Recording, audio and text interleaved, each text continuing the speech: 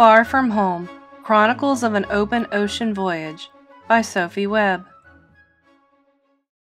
My name is Sophie.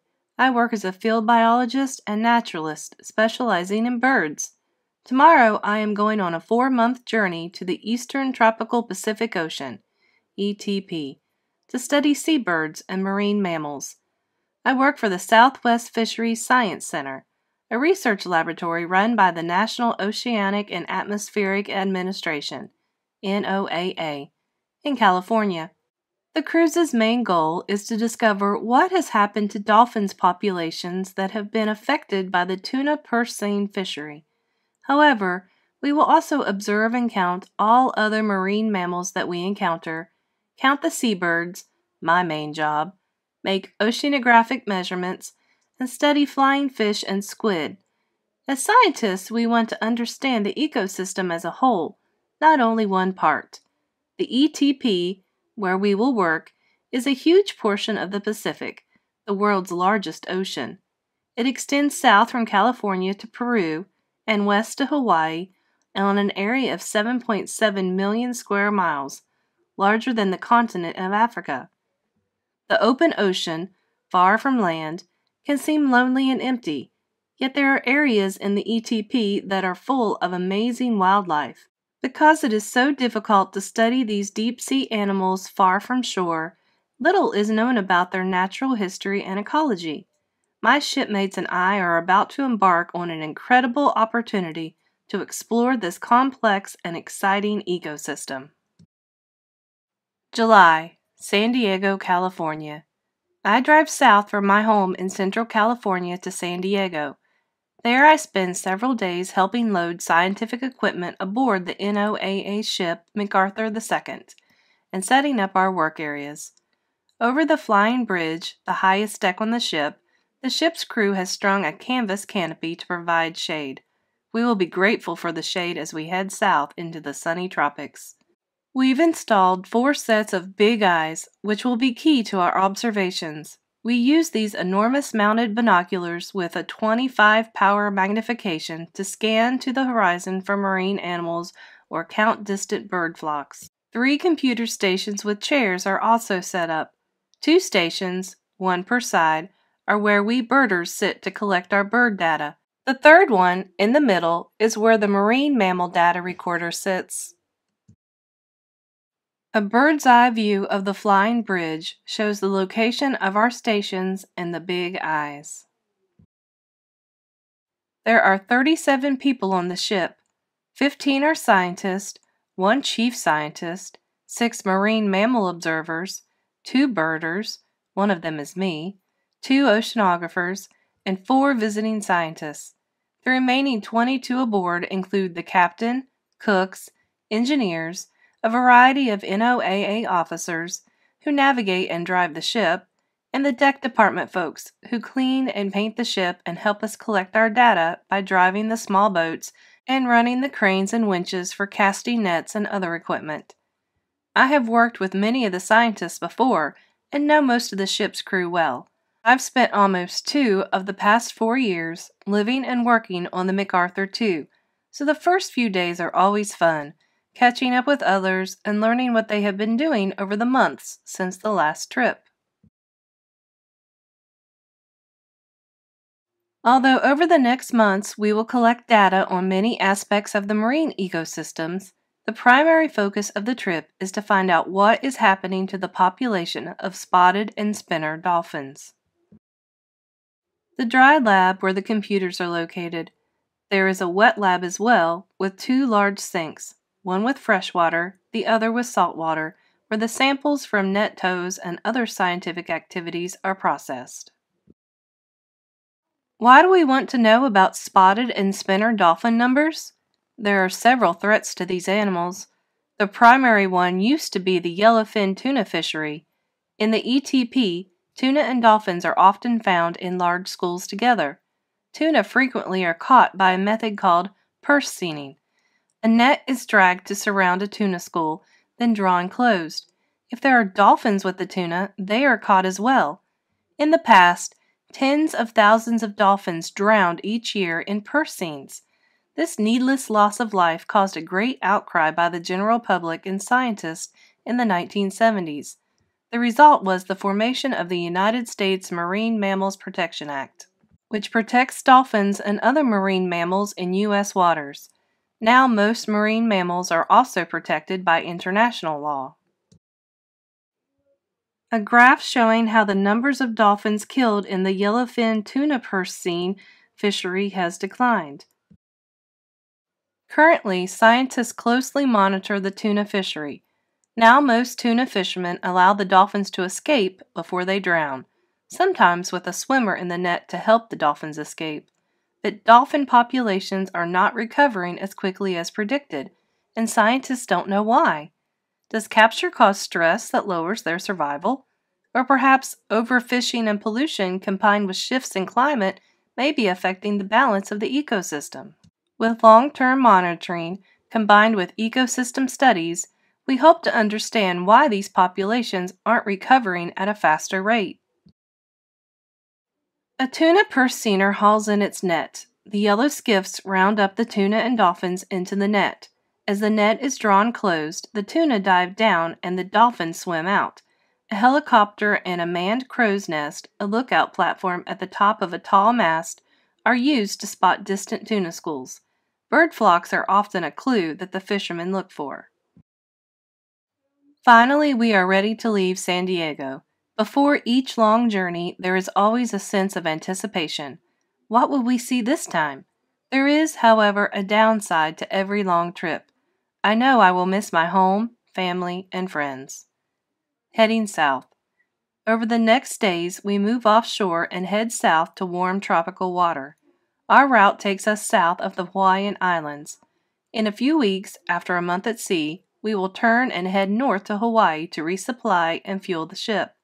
The ocean color has changed since we left San Diego. It is a beautiful clear blue. I look down through the water and it seems as though I can see for miles. Here the water can be much more than a mile deep. It looks nothing like the ocean near shore off California, which has a murky green or brownish cast to it caused by lots of plankton and algae.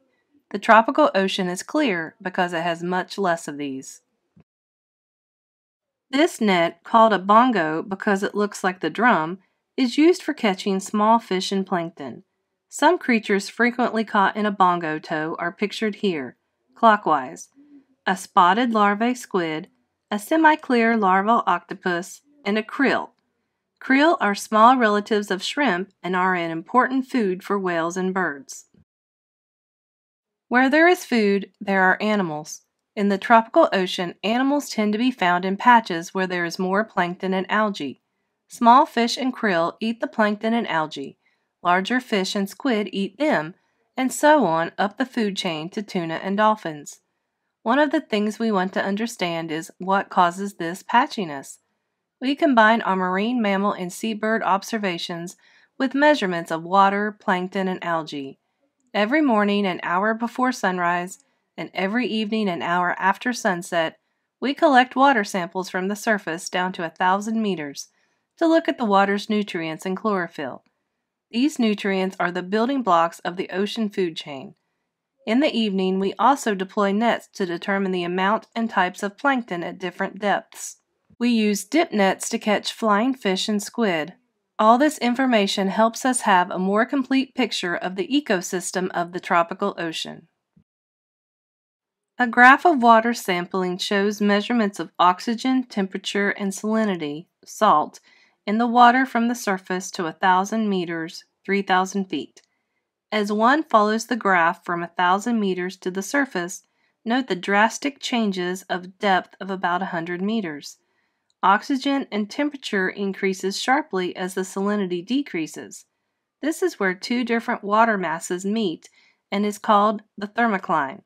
A thermocline that is strong and close to the surface, 50 to 100 meters, can indicate a highly productive area where we might find not only a large amount of algae and plankton, but also animals much higher in the food chain, such as tuna and dolphin. A day offshore. The day dawns clear and calm, absolutely beautiful. The seas are glassy. Beaufort O, a nautical scale that assigns numbers based on wind speed and waves. Observations start just after dawn, when there is enough light to see out to the horizon. Everyone is ready on the flying bridge. Cornelia, a German marine mammal biologist, and Ernesto, a Mexican marine mammal biologist, stand on each side of the flying bridge to scan with the big eyes for marine mammals. Jim, an American marine mammal biologist, sits in the middle at data computer. I sit with handheld binoculars on either the port left or the starboard right side, depending on where I can avoid the sun's glare to scan for birds. At Beaufort Zero, the ocean is glassy calm. One can see for miles. The pink and violet sunrise reflects on the still water. It's time to start looking for critters. It is 10 minutes past sunrise and the light is good. We start to travel along a set course, what scientists call a transect. Soon after we start, Cornelia yells, Dolphins! All scanning stops and everyone focuses on Cornelia's sighting. Cornelia scans out to the horizon, looking through the big eyes. What Cornelia sees through the big eyes. She swings the big eyes in the direction of the dolphins. Using her handheld radio, Cornelia calls the captain on the bridge deck below us, where the ship's steering controls are located. Bridge! Flying bridge! We have dolphins, she says. Please turn 20 degrees to the left. Over. The ship turns. At first, all we see are several dorsal fins around the log. We approach the dolphins slowly. One brown booby and four Nazca boobies rest on a log surrounded by dolphins. Boobies are often seen far out at sea, resting on any available floating object, including ships and sea turtles. Finally, we see odd sloped foreheads and long beaks. They are rough toothed dolphins. This species is found in many oceans. Although relatively common, little is known of their natural history due to their deep ocean habitat. All creatures that inhabit the deep oceans are difficult to study. What I imagine it looks like below the log. Frequently, rough-toothed dolphins investigate logs, feeding on the fish that hide in the seaweed growing on the log. Many different animals are attracted to the habitat the log creates.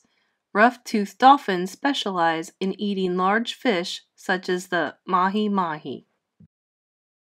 The water is so clear I see subtle markings on the dolphins as they swim by. All dolphins are odontocetes, toothed whales. Odontocetes also include porpoises, the little-known beaked whales, killer whales, and sperm whales. There is a great variation in size from the tiny harbor porpoise that measures 1.2 meters to the 18.5 meter male sperm whale. We complete the rough-toothed dolphin count. There are 12 in the group and no calves, babies. Marine mammal biologists always note the presence or absence of calves and immature animals to gain clues about when and where the dolphins reproduce. We leave the dolphins by their log and continue on our course.